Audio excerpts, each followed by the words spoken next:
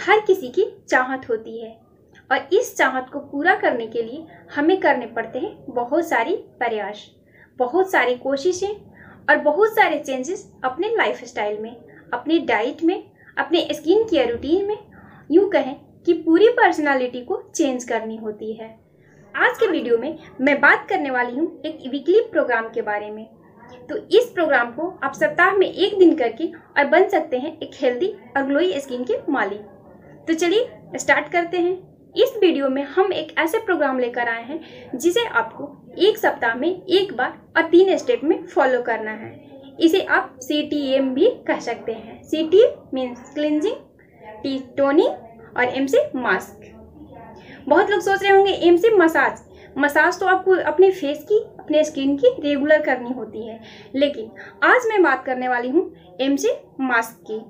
तो हम इन इसे तीन स्टेप में फॉलो करके और स्किन को ग्लोई हेल्दी बना वीडियो को स्टार्ट करने से पहले मैं आपको बता दूँ कि ये जो स्किन केयर रूटीन है ये हर स्किन टाइप के लोग कर सकते हैं। चाहे स्किन ऑयली हो ड्राई हो कम्बिनेशन हो या नॉर्मल हो ये सबके लिए ही परफेक्ट है। और इसमें एज की कोई बॉन्डिंग नहीं है। चौदह साल से ऊपर का हर लड़का या लड़की इसे फॉलो कर सकते हैं। तो सबसे पहला स्टेप हमारा होगा क्लिनजिंग अब आप सोच रहे होंगे कि क्लिनजिंग ही क्यों? हम अपने फेस का फेस वॉश करके भी तो क्लीन करते हैं, लेकिन नहीं। फेस वॉश हमारे स्किन के अपर लेयर को क्लीन करता है। लेकिन क्या आपको पता है कि क्लिनजिंग आपके स्किन के अपर लेयर के साथ साथ आपके डर्मिस लेयर यानी स्किन के सेकेंड लेयर को भी क्लीन करता है, जिससे ब्लैक हेड्स वाइट हेड्स या रैसेस हमारे स्किन में नहीं होता है। या अगर होता है तो उसे बहुत कम करता है। तो चलिए वीडियो को स्टार्ट करते हैं और क्लिनजिंग बनाने के लिए हमें क्या क्या करना है उसे देखते हैं। इस स्पेशल क्लिनजर को बनाने के लिए हमारा जो मेन इंग्रेडिएंट्स है, वो है चावल का आटा। चावल में स्टार्च होता है, जिससे इसमें वाइटनिंग प्रॉपर्टी बहुत ज़्यादा होता है और इसमें डीप क्लिनजिंग प्रॉपर्टी भी होता है, जो हमारे स्किन को अंदर तक क्लीन करता है। दूसरा इंग्रेडिएंट्स है हनी हनी हमारे स्किन को नमी प्रदान करता है, जो कि बहुत ज़रूरी है। और तीसरा इंग्रेडिएंट्स है रोज वाटर यानी गुलाब जल। और आप सबको तो पता ही होगा कि रोज वाटर हमारे स्किन के लिए कितना हेल्पफुल है, कितना यूजफुल है। तो चलिए अब देखते हैं इसे बनाने का विधि। एक चम्मच चावल, एक चम्मच हनी और एक चम्मच गुलाब जल डालकर एक अच्छा सा पेस्ट तैयार कर लें और इस पेस्ट को अपने चेहरे और गर्दन पे अच्छे से लगा लें। ताकि चेहरा और गर्दन का कलर अलग अलग ना दिखे। इसे तीन से चार मिनट तक मसाज करें।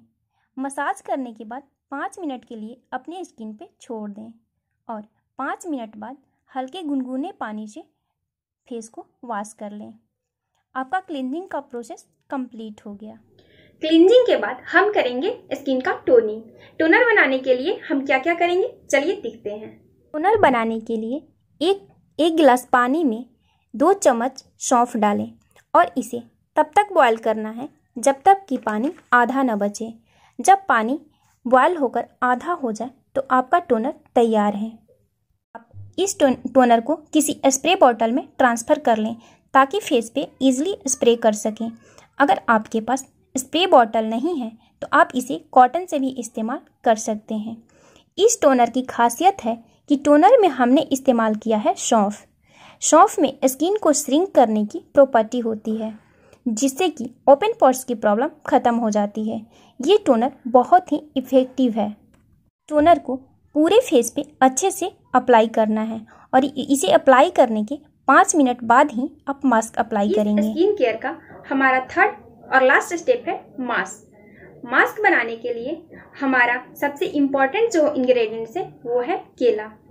केला में बहुत ज़्यादा मात्रा में होता है पोटेशियम जो कि आप सबको पता है, जिसकी वजह से ये हमारे स्किन के हफ़्ते भर के डैमेज को रिपेयर करता है। और हमारा दूसरा इंग्रेडिएंट्स है आलू का रस, यानी पोटैटो जूस तो इस जूस में होता है स्किन लाइटनिंग प्रॉपर्टी ये स्किन को लाइट करता है और स्किन को रिजुकनेट करता है। और थर्ड इंग्रेडिएंट से वो है मैदा। तो अब देखेंगे कि इसे बनाना कैसे है और इसे अप्लाई कैसे करना है। मास्क बनाने के लिए आपको आधा केला लेना है और इसे अच्छे से मैश कर लेना है, यानी पेस्ट फॉर्म में कर लेना है। इसके अंदर दो चम्मच आलू का जूस मिला लेंगे और एक से दो चम्मच हम मैदा लेंगे और इसमें अच्छे से मिला के एक पेस्ट बना लेंगे। इस पेस्ट को फेस पे अच्छे से लगा लेना है। इस पैक को आप आँखों के ऊपर या आँखों के नीचे भी अप्लाई कर सकते हैं, क्योंकि इसका कोई साइड इफ़ेक्ट नहीं है। इसमें सारे इंग्रेडिएंट्स नेचुरल हैं। इस पेस्ट को अपने फेस पे अप्लाई करने के बाद 20 मिनट के बाद इसे ठंडे पानी से धो लेना है। इसे धोने के बाद आप अपने स्किन पे कोई भी मॉइस्चराइज़र ज़रूर लगाएँ। ये तीन स्टेप का प्रोसेस आपको बहुत ही बेहतरीन रिज़ल्ट देने वाला है। आपकी स्किन के sunburn pigmentation, open pores, dark circles, ageing marks, ये सारे प्रॉब्लम को सॉल्व कर देगा। अगर वीडियो अच्छी लगी हो तो लाइक, शेयर और सब्सक्राइब करना ना भूलें।